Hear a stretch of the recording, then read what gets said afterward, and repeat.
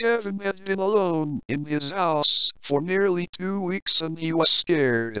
His parents had been dead for nearly two weeks and he wasn't getting any welfare checks.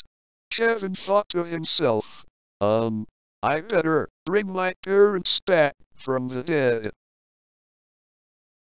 Hey this is Old Schooler Simpsons and I am a wizard. I will teach you how to bring your parents back from the dead. Kevin asked the wizard how. It's simple. Just take a shit in any old bush.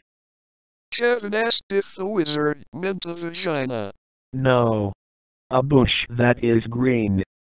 Kevin put the phone down